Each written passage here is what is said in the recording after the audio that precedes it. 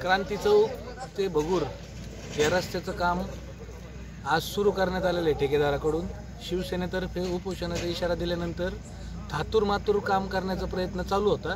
शिवसेनेतर्फे काम बंद पाडण्यात आलेले आहे.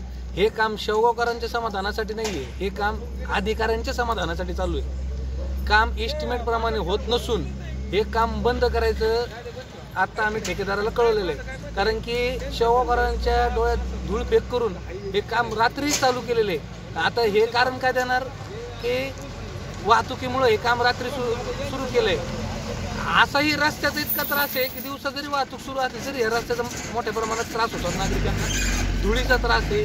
लोकांचे मनके या रोडमुळे गेलेले आहेत. आणि जेणेकरून ठेकेदाराच्या हिताचं काम इथं चालू आहे. शिवसेना कदापि हे सहन करणार नाही. शेवगावकरांच्या डोळ्यात धूळ फेक करू देणार नाही.